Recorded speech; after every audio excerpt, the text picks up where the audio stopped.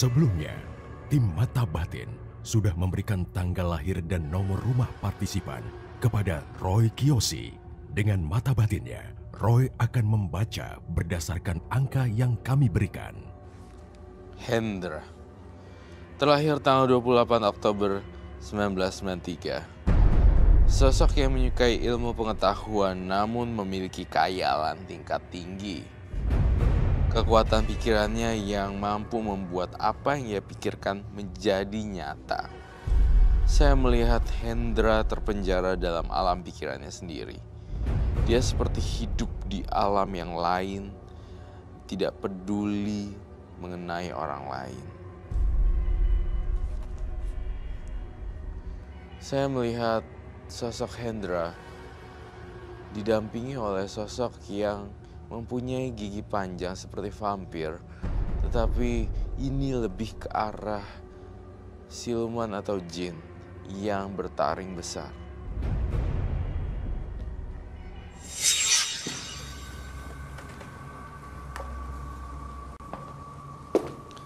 Selamat malam.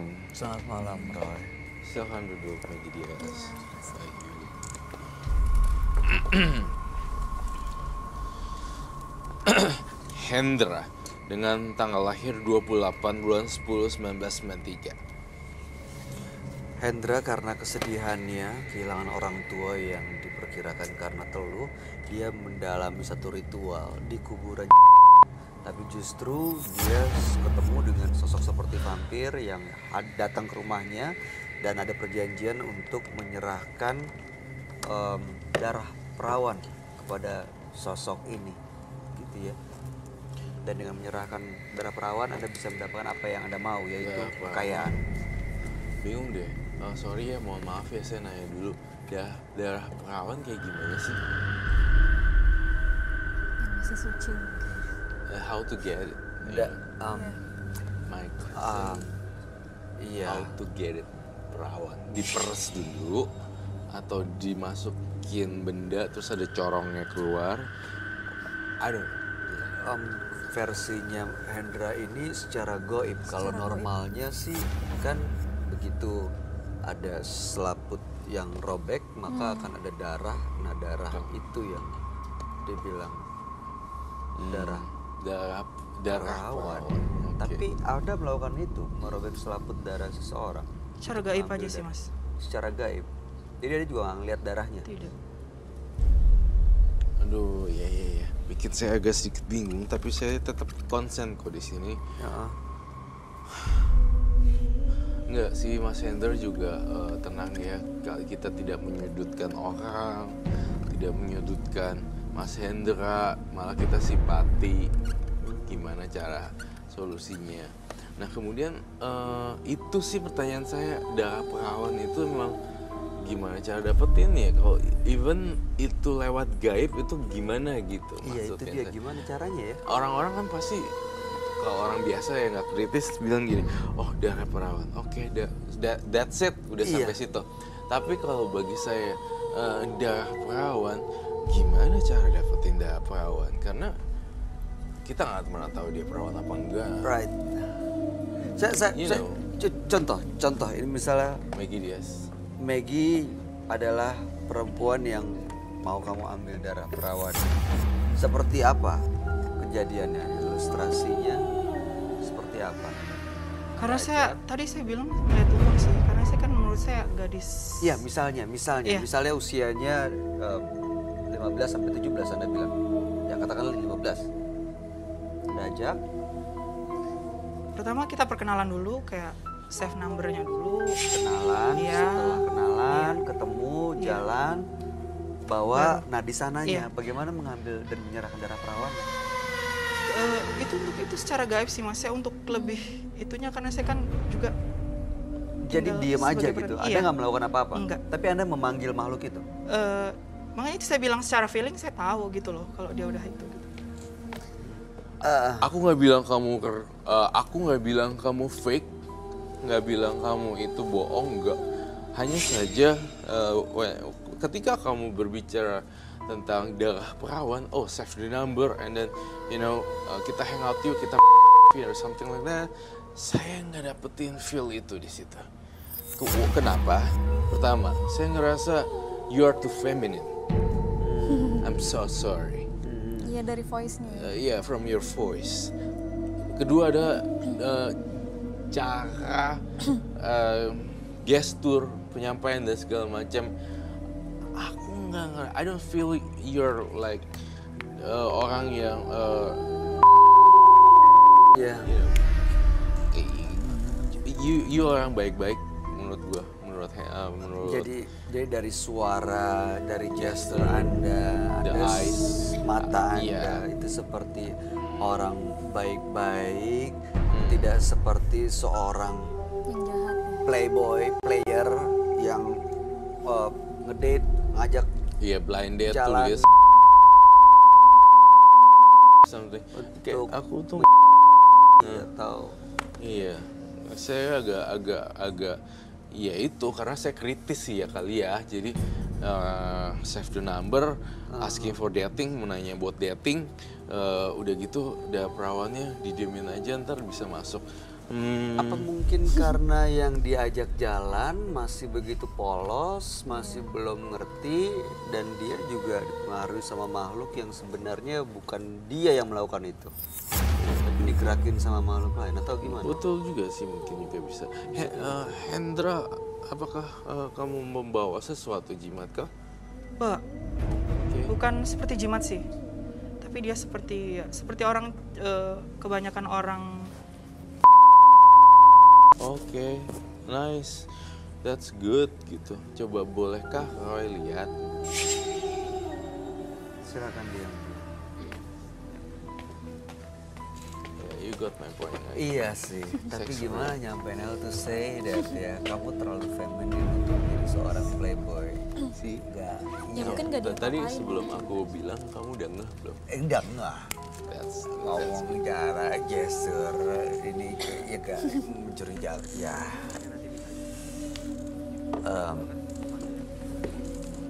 tapi mungkin ah nggak tahu juga sih ya. Nanti kita lihat ya. iya kita, kita coba lihat Yo, lupa Lupa.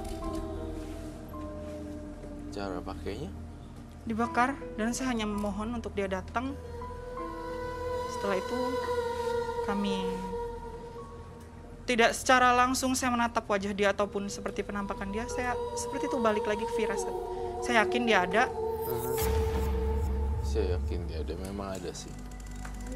dan oh, ya.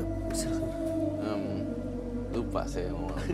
saya cuma mau tahu tujuan awalnya kan dia mau mencari kekayaan dan dia sudah berhubungan hampir 2 tahun katanya dengan makhluk ini. Dapat nggak apa yang diminta yang diinginkan? Dapat mas. Secara langsung apa yang saya inginkan langsung gitu loh. harta uang. Iya seperti uang. Dia kayak seperti di tempat di kamar saya pulang setelah dari kegiatan apa saya udah ngasih yang dia mau itu ada Secara tiba-tiba gitu. iya lah. Secara tiba-tiba uangnya datang. muncul gitu aja iya karena ya yang saya tahu dunia gaib seperti itu ya mau tidak mau harus seperti apa Ah, Koko aku boleh nanya Boleh, boleh, Maggie. Tapi agak ah, gimana ya? It's agak- okay, it's okay. Aku boleh air gak? Air minum. air minum Aku haus sekali. Pengen tahu mas nih eh, kan yang dicari itu kayak perawan gitu ya. Terus setelah dia kayak diambil darahnya tuh itu perempuan udah nggak perawan lagi atau gimana? Nggak tahu. Tapi kamu bisa pastikan yang kamu ajak itu adalah seorang Perawan. perawan. Ya seperti yang saya bilang tadi seperti kayak tepuk tubuhnya gestur dia jalan. Malah saya mau nanya, did you ever date? What? Malah itu, tapi nggak mau salah. Saya pengennya yang aku appreciate aja lah. udah. Iya. Saya apa ya? Ngomong juga susah nih saya jadi bingung. Iya. Ada tapi mm, merasa yang anda lakukan ini benar atau salah salah salah besar Salah. Oke. saya sudah s- cukup ada sekitar tiga bulanan tidak tapi dia malah ma- mengancam balik ke saya gitu Ya, seperti apa? Eh, seperti setiap malam itu saya dimimpi buruk oleh dia seperti diancam hidup saya tidak akan nyaman tidak tidak akan berjalan dengan baik Nah, bentuknya seperti apa? Kan ada yang sosoknya ya. sosok kalau dari kuburan Cina kayak di film-film kali ya yang saya tahu yang muka putih apa pakai kertas kuning kamu pernah kertas kuning Eh, I don't need eh, kertas kuning. Saya tidak bisa Oke. kuning-kuningan juga. itu nah seperti apa atau seperti yang film Twilight gitu kan vampir juga tuh nggak tahu karena ya saya bilang wajahnya itu susah buat digambarkan Monggo, silakan dipanggil. dari mana tahunya kalau itu vampir ya Eh, vampir, oh, saya mohon maaf ya eh, sebelumnya. Saya kan dulu sekolah di eh, bertahun-tahun. Saya ngerasa ya tiap hari, tiap minggu tuh ada kunjungan eh, wisata gitu tiap minggu lah dikunjungi eh, vampir, eh, vampir, museum, museum-museum yang dinasti dinasti lama. Vampir yang diceritakan di film yang gitu-gitu tuh enggak nggak gitu Enggak gitu, jadi dia kayak eh kamu pernah ke museum ini gak di di di, di itu tuh di Paris. Dia kayak lebih oh yang kayak mah kurus cuma gitu doang, tapi nggak ada lilin nggak ada gitu. tulisan, iya ya kayak lilin gitu. iya Ya, karena tahu nggak yang kertas nempel-nempel itu kan paradigma dan ideologi tahun 90-an anak-anak yang hidup di sana nonton TV vampir. oh gitu. Sebenarnya Sebenarnya industri gitu. itu kan showbiz ya. oh itu film kok?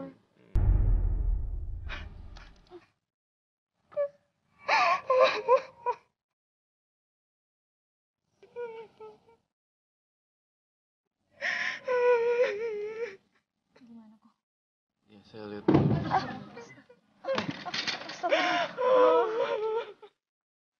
Oh, kok di belakangnya ada yang tiba-tiba nari-nari gitu ya Mungkin kayak udah Saya masuk minta- gitu kali ya. Kebayang. saya minta dupa yang panjang, ke belakang bisa lewat yang banyak ya.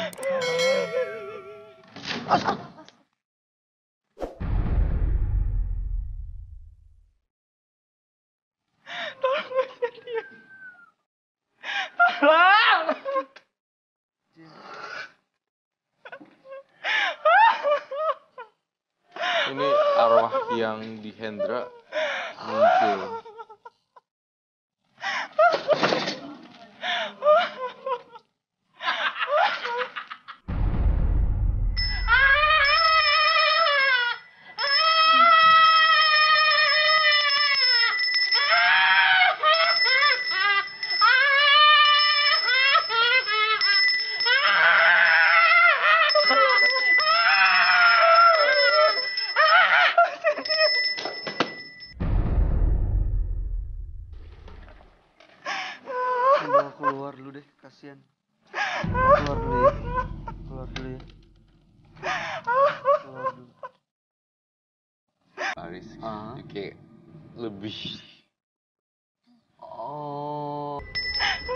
dinginnya udaranya. Tadi aku napas ketika kayak mual gitu ya kok. Iya, Apa karena ada energi ini atau sepertinya masuk ke kamu.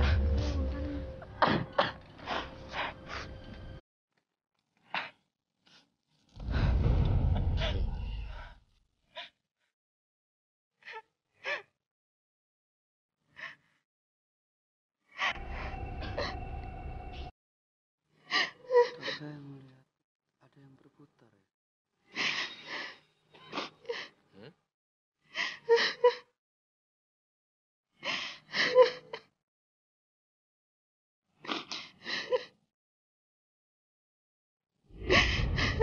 Ya, it's too feminine sih untuk ngambil darah perempuan. Saya boleh ngambil kesimpulan langsung kah atau apa? Seperti apa? Oke, oke. Em, saya mau request em, eh, makeup artist. makeup Iya, makeup. eh, makeup for him who looks like a vampire. tim makeup dong. Kita mau biar dapat visualnya Iya, seperti apa. betul. Makhluk visual. yang memang datang ke sini. Tuh, daripada saya pakai cat, saya pakai makeup. Oke. Mas Hendra, Orang tua saya, Mas. Orang tua saya. iya.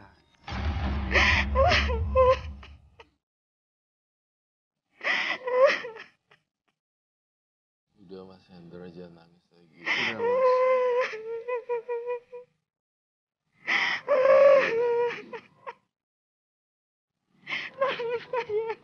Adira yang dandan. Eh, coba coba. Sebentar ya, kita mau dapat visualnya makhluk seperti apa yang anda tadi lihat. Ya, ada diem dulu. Diam dulu. Kita kasih tim art, tim makeup untuk coba minta minum. Ada minum sama tisu.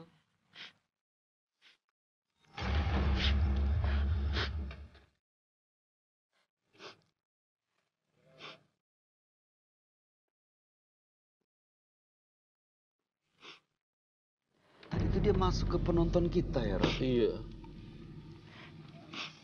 Dan seperti itu datang ke mimpi kamu tuh seperti itu, Mas. Paris. Ah. Kayak lebih Oh, dinginnya udaranya.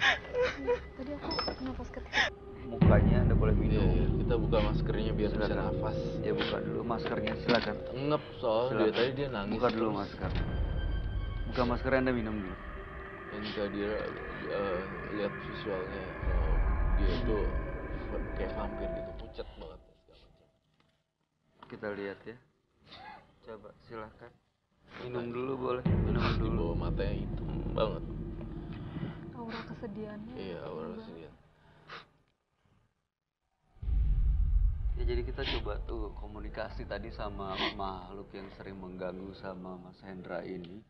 Tapi agak kesulitan karena tidak bisa diajak komunikasi. Bahkan makhluk itu masuk ke dalam eh, tubuh salah satu penonton kita yang tadi sempat jatuh dan akhirnya dibawa keluar. Betul Silakan. sekali. Silakan. Mau Hendra, Iya. visualnya ya, iya, saya butuh visual ya.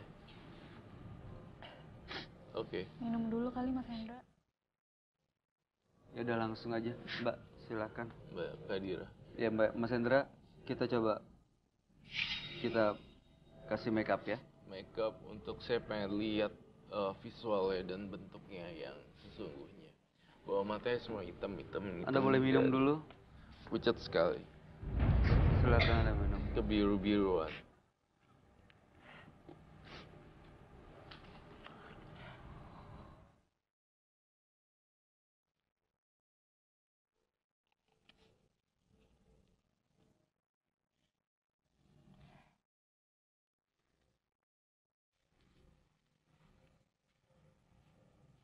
Jangan ditutup lagi, dibuka aja. Dibuka aja dibuka.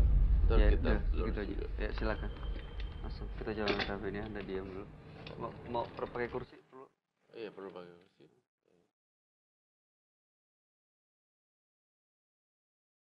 Pucat banget.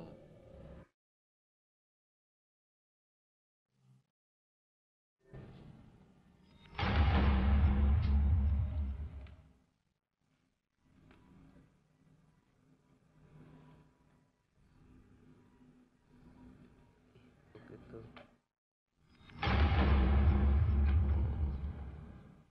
Ya harus tambah lebih putih lagi deh Kadir. Ini butuh pakai kuas yang te cat tembok gak? Enggak eh, Nggak boleh. enggak. Oh. Jangan. Oh. Okay. I think it's enough already. Udah.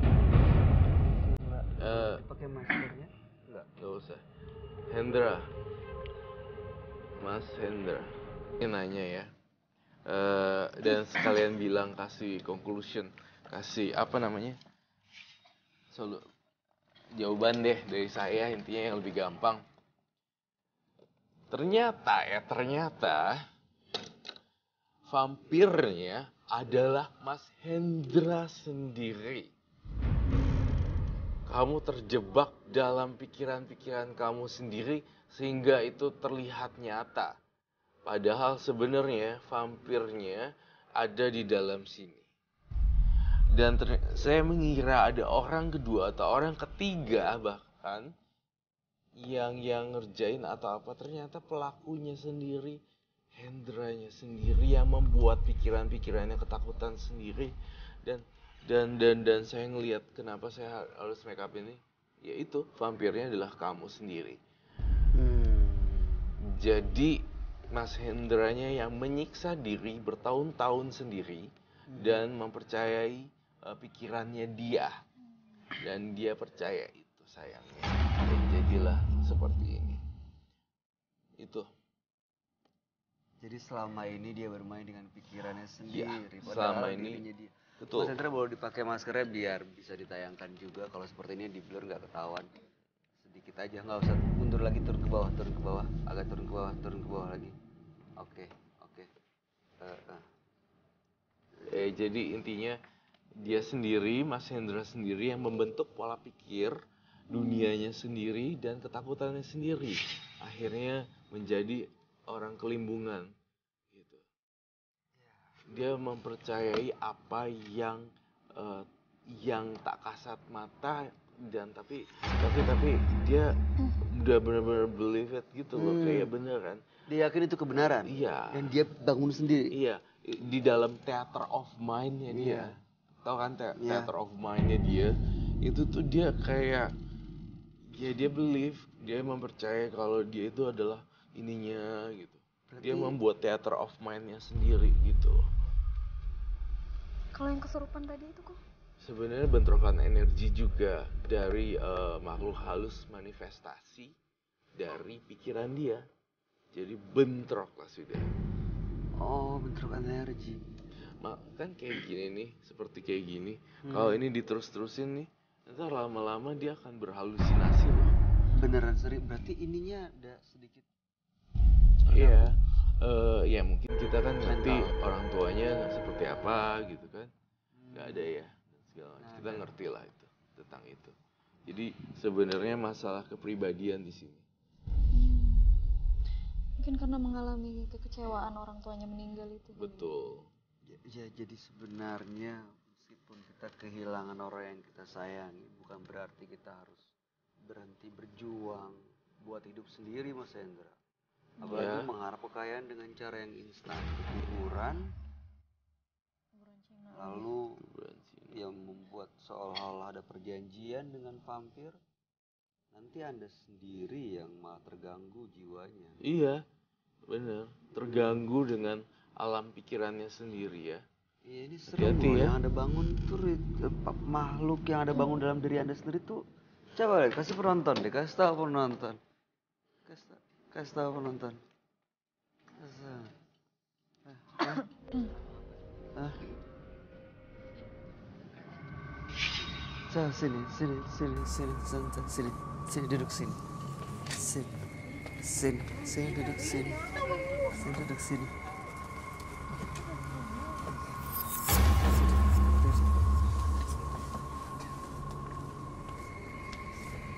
Serem ya. udah udah. So funny.